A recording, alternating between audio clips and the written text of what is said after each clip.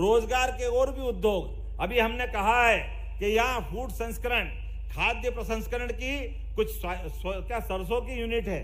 सभी लोगों के लिए जो भी कोई नई फैक्ट्री या नया योजना खोलना चाहेगा, हमारी सरकार उसको सब्सिडी भी देगी। इसके साथ साथ और भी रेडीमेड गारमेंट्स के, हमारे क्लाथ के दूसरे, जैसे कॉटन के इंडस्ट्रियाँ हैं, उसमें रोज़गार बहुत है। जैसे जैसे अपने यहाँ उज्जैन में हमने खुलवाई है कि लगभग रेडीमेड गारमेंट्स के माध्यम से प्रति मजदूर पाँच हज़ार रुपया महीना दस साल तक हम उसकी सब्सिडी देते हैं। अगर यहाँ कोई फैक्ट्री लेकर लगाना चाहेगा, ये कि यही घोषणा मैं मुरैना के लिए करता हूँ ताकि यहाँ पर बड़े पैमाने पर रोज़गार मिले।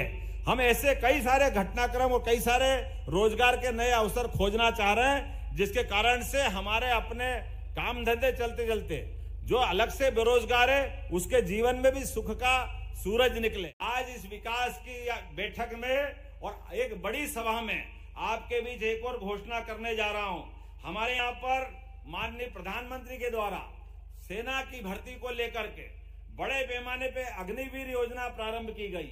उस अग्निवीर योजना के माध्यम से हमारे अपने देश की सेना को एक तरह से युवा बना दिया गया। काल के प्रवाह में बहुत सारे प्रकार के षड्यंत्रों के आधार पर अंदाज लगा लो, कभी आप कभी कल्पना कर सकते हो क्या? इतना बड़ा एक सौ बयालीस करोड़ आबादी का देश और इस देश की सेना की जो हमारी, क्योंकि उसमें हमारे अकेले बस की बात नहीं है, संयुक्त राष्ट्र संघ और बहुत सारे नियमों के आधार पर हमको संख्या लिमिटेड रखना है। तो केवल थल सेना, जल सेना, वायु सेना सब मिला करके इनकी संख्या अगर आपको मालूम हो तो मैं आपको बताना चाहूँगा, अगर नई जानकारी हो तो। केवल साढ़े तेरह लाख इनकी संख्या है।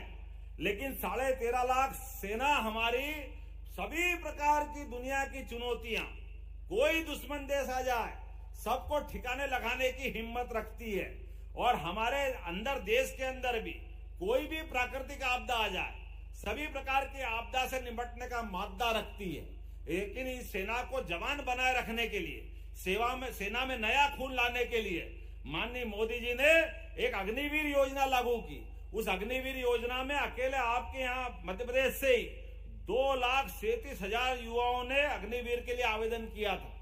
लेकिन अग्निवीर योजना के आवेदन करने के आधार पर उनकी प्रशिक्षण की ज़रूरत भी है, क्योंकि हमको मालूम है कि हमारे आज के समय में ये गणित के, फिजिक्स के, केमिस्ट्री के कई विषयों को लेकर के और सामान्य विषय को हमारे बच्चे अगर ट्रेनिंग नहीं पाता है पहले से तो सबकी भर्ती नहीं हो पाती।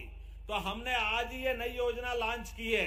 अब लगभग प्रति बेच में 360 घंटे का निशुल्क प्रशिक्षण मध्य प्रदेश सरकार चालू करने जा रही है, जिसको आज घोषणा कर रहा हूँ, वो सारा पैसा सरकार उठाएगी। हमारे बच्चे निशुल्क कोचिंग क्लासेस ज्वाइन करेंगे।